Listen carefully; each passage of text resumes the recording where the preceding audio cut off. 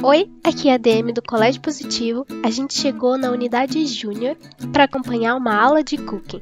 Vamos com a gente? Um, dois, três, e...